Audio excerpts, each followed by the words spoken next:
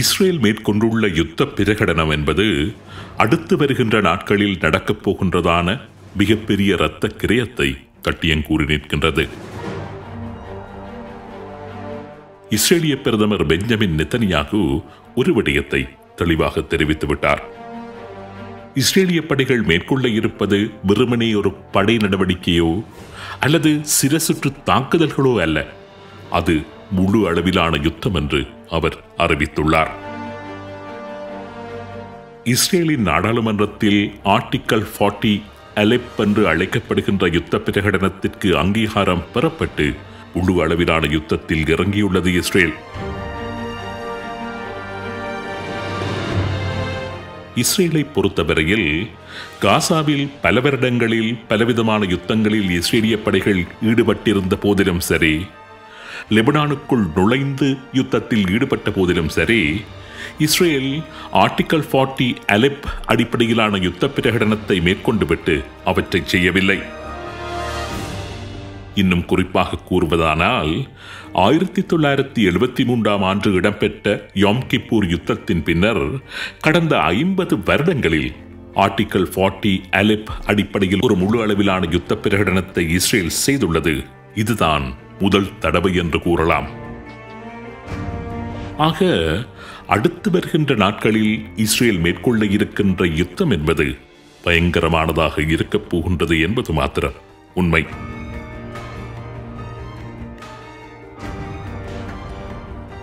யூதர்களை பொறுத்தவரை பழி வாங்குதல் அல்லது பழி தீர்த்தல் என்பது அவர்களுக்கு மத ரீதியாக வழங்கப்பட்டுள்ள ஒரு ஆணை.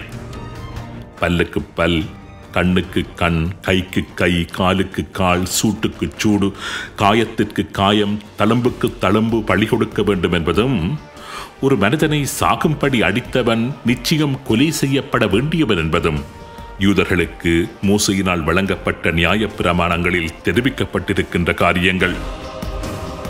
எனவே யூதர்களை படுகொலை செய்த ஹமாஸ் தீவிரவாதிகளை அந்த தீவிரவாதிகள் இருப்பதாக நம்பப்படுகின்ற காசாவை தாக்கி அழிப்பதென்பது இஸ்ரேலியர்களை பொறுத்தவரை அவர்களுக்கு அவர்களது மத ரீதியாகவே கிடைத்துவிட்ட ஒரு அங்கீகாரம். இது ஒரு புறம் இருக்க சுதந்திர இஸ்ரேலின் வரலாற்றை எடுத்து நோக்கினால் இஸ்ரேல் மீது வலிந்து திணிக்கப்பட்ட எந்த ஒரு யுத்தத்தின் பலனையும் இஸ்ரேலை அறுவடை செய்திருந்ததுதான் வரலாறு. இஸ்ரேல் மீது வளைந்து திணிக்கப்பட்ட யுத்தங்களின் போது இஸ்ரேல் ஒரு அடி பின்னோக்கி நகர்ந்தால் அதனைத் தொடர்ந்து இரண்டு அடிகள் முன்னகர்ந்த வரலாறுதான் இஸ்ரேலுக்கு இருக்கின்றது. இதற்கு ஏராளமான உதாரணங்களை வரலாற்றில் எங்களால் காணக்கூடியதாக இருக்கின்றது. ஆயிரத்தி தொள்ளாயிரத்தி நாற்பத்தி எட்டாம் ஆண்டு இஸ்ரேல் சுதந்திரமடைந்த மறுதினம் பலஸ்தீன போராளிகள் Syria Iraq Lebanon Egypt Saudi Arabia போன்ற நாடுகள் இஸ்ரேல் மீது போர் தொடுத்ததை தொடர்ந்து அத்தனை நாடுகளையும் தோற்கடித்த இஸ்ரேல் அதுவரை பலஸ்தீனர்களுக்கு சொந்தமாக இருந்த நிலப்பரப்பில் அறுபது வீதமான பகுதிகளை கையகப்படுத்திக் கொண்டது. இன்று இஸ்ரேலின் பெருநகரங்களாக இருக்கின்ற நியூ ஜெருசலேம் ஜஃபா ஹைஃபா உட்பட பத்து முக்கிய நகரங்களை இஸ்ரேல் தன்வசப்படுத்தி இருந்தது அந்த யுத்தத்தின் முடிவில். அதேபோன்று ஆயிரத்தி தொள்ளாயிரத்தி அறுபத்தி ஏழாம் ஆண்டு நடைபெற்ற ஆறு நாள் யுத்தத்தின் போது இஸ்ரேல் மீது அதிரடி தாக்குதலை மேற்கொண்ட Egypt Jordan Syria Lebanon Kuwait Saudi Arabia Iraq போன்ற நாடுகளை தோற்கடித்த இஸ்ரேல். அதுவரை ஜோர்தானின் கட்டுப்பாட்டில் இருந்த மேற்கு கரை கிழக்கு ஜெருசலேம் போன்ற இடங்களையும் சிரியாவின் கட்டுப்பாட்டில் இருந்த கோலன் மலைப்பகுதிகளையும் எகிப்தின் கட்டுப்பாட்டின் கீழ் இருந்த காசா பிராந்தியம் மற்றும் சீனாய் பிராந்தியம் போன்றவற்றையும் கைப்பற்றியிருந்தது.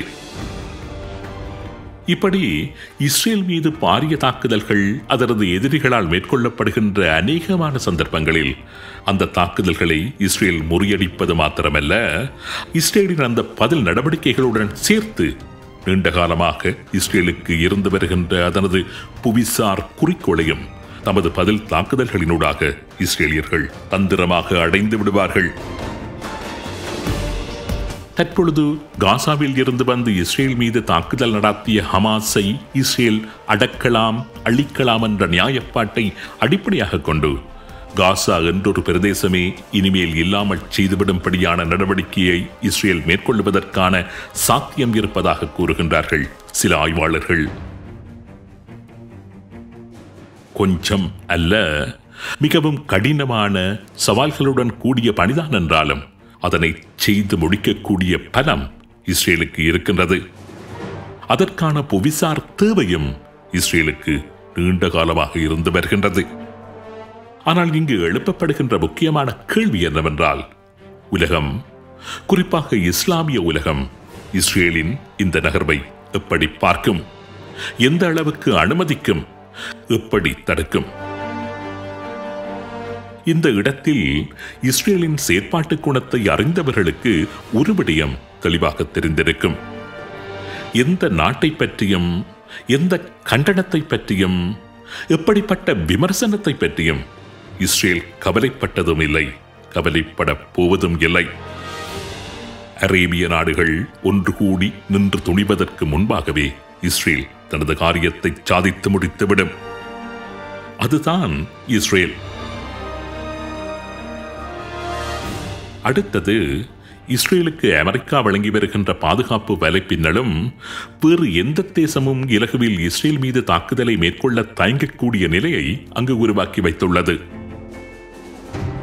இஸ்ரேல் தனக்கான பாதுகாப்பை உறுதிப்படுத்துவதற்கு ஏதுவான அத்தனை காரியங்களையும் செய்யலாம். அதற்கான உரிமை இஸ்ரேலுக்கு இருக்கின்றது என்று கூறி வருகின்ற அமெரிக்கா இஸ்ரேலின் பதிலடிக்கு வேறு எந்த ஒரு நாடும் தடை போட்டுவிடக் கூடாது என்கின்றதன் அடிப்படையில் தான் தனது கடற்படை பிரிவுகளை இஸ்ரேலை நோக்கி அனுப்பி வைத்துள்ளது. இவை அனைத்தையும் விட இஸ்ரேல் என்பது பலவிதமான அணு ஆயுதங்களை தன்வசம் வைத்திருக்கின்ற ஒரு நாடு என்பதும் குறிப்பிடத்தக்கது. அதனால் ஈரான் உட்பட எந்த ஒரு அரபு நாடும் இஸ்ரேல் மீது நேரடியாக தாக்குதல்களை மேற்கொள்வதற்கு ஒன்றுக்கு இரண்டு தடவைகள் யோசிக்கத்தான் செய்வார்கள். ஆனால் உண்மையிலேயே இஸ்ரேலின் காசா மீதான அழித்தொழிப்பு நடவடிக்கைக்கு சவாலாக இருக்கப் போவது எவை என்று பார்த்தால் வடக்கில் லெபனானில் இருந்தும் இஸ்ரேலுக்கு உள்ளே மேற்கு கரையில் இருந்தும் சமகாலத்தில் இஸ்ரேல் மீது தாக்குதல்களை நடத்தலாம் என்று எதிர்பார்க்கப்படுகின்ற ஹிஸ்புல்லா மற்றும் பலஸ்தீன போராளிகள்தான். லெபனானில் நிலை கொண்டுள்ள ஹிஸ்புல்லா அமைப்பிடம் நன்கு பயிற்சப்பட்ட ஒரு லட்சத்திற்கும் அதிகமான போராளிகளும் ராக்கெட்டுகளும் நவீன போராயுதங்களும் தாராளமாக இருக்கின்றன. அதனை கடந்து பலஸ்தீனத்தில் செயற்பட்டு வருகின்ற Palestine Islamic Jihad Al Aqsa Martyrs Brigade PRC என்று அழைக்கப்படுகின்ற Popular Resistance Committee Popular Front of Liberation of Palestine Harakat al Sabireen Palestinian Liberation Front Popular Front of Liberation of Palestine General Command இப்படி ஏராளமான பலஸ்தீன போராட்ட அமைப்புகள் மேற்கு கரையிலும் இஸ்ரேலை அண்டிய பிரதேசங்களிலும் இஸ்ரேலுக்கு உள்ளேயும் கூட செயற்பட்டு வருகின்றன. இந்த அமைப்பின் உறுப்பினர்கள் அண்மை காலத்தில் எப்படி ஒருங்கிணைக்கப்பட்டிருக்கின்றார்கள் எப்படி பயிற்றப்பட்டிருக்கின்றார்கள் எப்படி எப்படியான ஆயுதங்களை தம்பசம் வைத்திருக்கின்றார்கள் காசாவில் இஸ்ரேலிய துருப்புக்கள் களமிறங்குகின்ற சமகாலத்தில் இந்த அமைப்புகள் ஒருங்கிணைந்து இஸ்ரேல் மீது கட்டமைக்கப்பட்ட முறையில் தாக்குதல்களை மேற்கொள்வதற்கு சாத்தியம் இருக்கின்றதா? கணிப்பிட முடியாத இந்த கேள்விகள்தான் இஸ்ரேலுக்கு இன்று இருக்கின்ற மிகப்பெரிய சவால். இஸ்ரேல் மீது அண்மையில் தாக்குதலை மேற்கொண்ட ஹமாஸ் தீவிரவாதிகள் ஒரு விடயத்தை உறுதியாக கூறியிருந்தார்கள். இஸ்ரேலியர்கள் உண்மையான நரகத்தை பார்க்கப் போகின்றார்கள் என்று அவர்கள் தெரிவித்திருந்தார்கள். இஸ்ரேல் மாத்திரமல்ல காசாவும் ஈரானும் ஏன் முழு உலகுமே விரைவில் மோசமான ஒரு நரகத்தை பார்க்கப் போகின்றது என்பதுதான் உண்மை.